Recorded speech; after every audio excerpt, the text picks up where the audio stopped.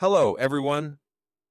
In this class, I will show you the desktop effect function on the CrowPanel Advanced HMI display.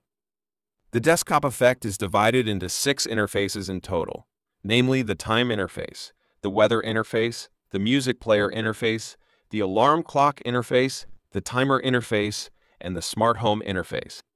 First of all, let's see how our colleagues make the most of this function we designed. In the video, Eli is the protagonist of this video. When Eli arrives at the company in the morning, he can see the advanced desktop effect on the screen. After sitting down, he sets an alarm for lunchtime and then starts his R&D work for the day. When he feels a bit tired from work, he switches the screen to the music interface and plays his favorite music to relax his mind. He can switch songs at any time. After that, he waits for the lunch break alarm to ring, which reminds him that it's time to get off work, take a break, and go for a meal. Me, you can turn off the alarm actively, or it will automatically turn off 10 seconds after it rings. Of course, you can set the duration of the alarm in the code by yourself, and I will explain it to you later.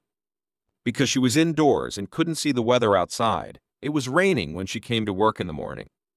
Before leaving, Eli could also check the weather conditions on the weather interface.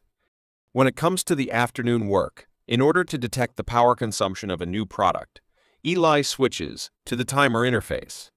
After connecting the new product to the battery, he turns on the timer to start working and observes the power consumption of the new product. As time goes by, the battery runs out of power, and then he stops and clears the timer. Finally, when Eli is ready to leave work, he shuts down the computer. After checking the weather interface, he finds that it's cloudy, so he puts away his umbrella. Subsequently, by simply clicking the turn off the lights option in the smart home interface, he can remotely control the office lights to turn off. Regarding the last smart home interface, Advance can achieve the function of remotely controlling the on and off of the lights. You can adjust the hardware and modify the code to achieve the control effect in your own home. Moreover, based on our advanced product, we can also control the hardware on another motherboard by adjusting the code. For example, we can turn on the lights on another board. In short, our advanced product is highly flexible.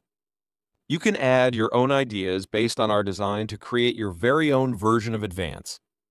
Our Advanced Desktop Effect offers a rich variety of size options.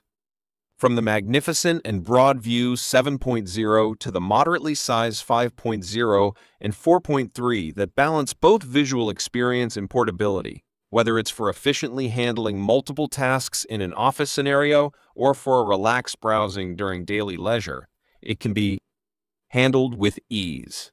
Moving on to the small and delicate 3.5, 2.8, and 2.4, with their lightweight bodies, they are perfectly suitable for various small devices.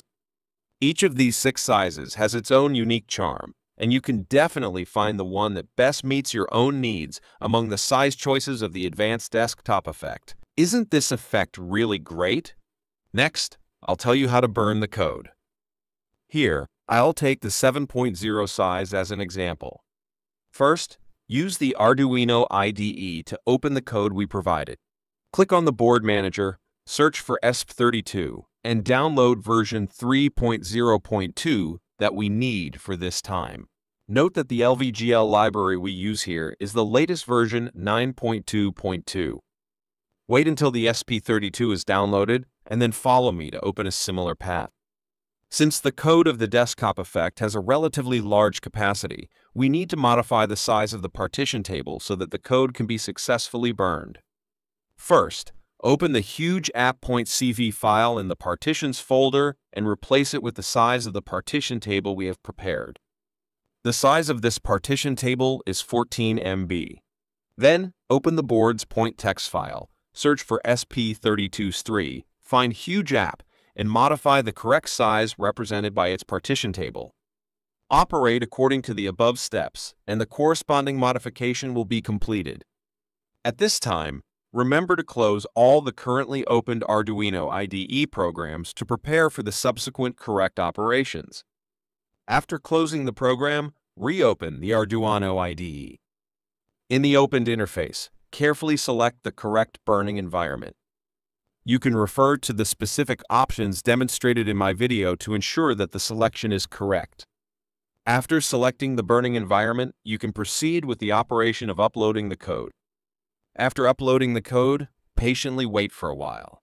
Once the program is successfully burned and running, you can freely use the desktop effect introduced by us and experience the convenience and fun it brings.